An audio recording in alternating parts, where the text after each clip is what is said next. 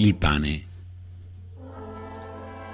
elemento più comune del nutrimento, simbolo di ciò che assicura la vita, segno di familiarità, amicizia, condivisione.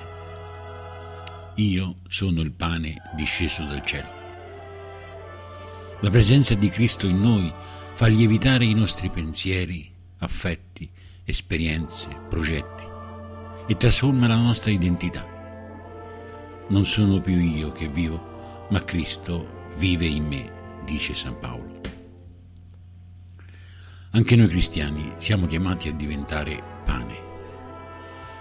Frumento di Dio io sono e con i denti delle belve sono macinato per essere trovato pane puro di Cristo, dice Sant'Ignazio di Antiochia nel momento del martirio. Pane per i nostri fratelli, macinati nel sangue della guerra, stritolati nel laccio della ingiustizia, frantumati nell'ingordice del potere, sbriciolati nell'odio di razza, spezzettati nella repressione della libertà.